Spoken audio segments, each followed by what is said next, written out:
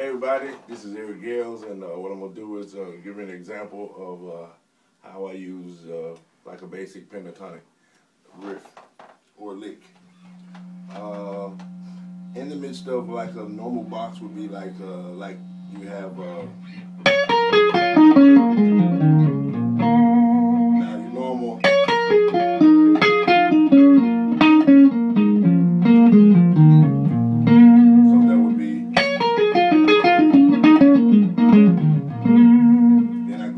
Farther than that and double up some here and there.